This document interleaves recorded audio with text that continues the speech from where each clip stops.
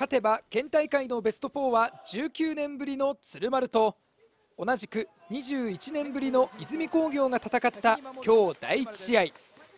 鶴丸は全校応援で大応援団が鴨池市民球場のライトスタンドも埋めました。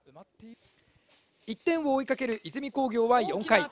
ツーアウトランナーなしから途中出場の尾崎がライトスタンドへと運び同点に追いつくと。この回さらに3番の松本に2点タイムリーが生まれ一挙3得点。試合をひっくり返します。今度は追いかける鶴丸が5回。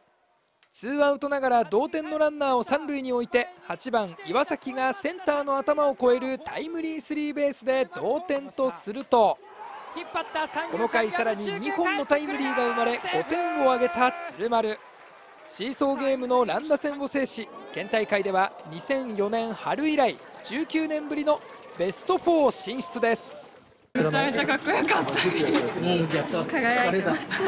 甲子園行きたいので頑張ってください。頑張ってください。応援して応援してます。本当にこう背中を押してくれる心強い応援団でしたしやっぱりこう自分たちも打席内で応援に乗りながらこう得点できていたのでとても本当に感謝したいと思います。笑顔を忘れずに一戦必勝で全力でぶつかっていきたいと思います。一方ベスト4最後の一枠をかけた今日第2試合は1点を争う接戦に。仙台商工が夏のリベンジを果たし鹿屋農業に4対3で勝利しベスト4進出。11日の第1試合で神村学園と戦います。